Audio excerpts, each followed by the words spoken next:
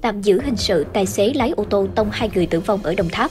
Những ngày qua, một đoạn video lan truyền trên mạng xã hội ghi lại cảnh một chiếc ô tô chạy với tốc độ cao, tông vào hàng rào rồi tiếp tục chạy khiến hai người tử vong. Với nội dung do bức xúc vì mất chó nên chủ xe đã dùng ô tô đâm hai người trộm chó. Vào sáng ngày 28 tháng 3, cơ quan chức năng tỉnh Đồng Tháp cho hay đang tạm giữ hình sự Lê Hồ Quốc Đạt, 27 tuổi, ngụ huyện Lấp Vò, tỉnh Đồng Tháp để điều tra về hành vi điều khiển ô tô vượt không đúng quy định, gây tai nạn giao thông khiến hai người tử vong. Theo đó, vào tối ngày 25 tháng 3, Đạt nhậu với nhóm bạn tại nhà, sau đó lái xe ô tô 7 chỗ chở theo hai người bạn về.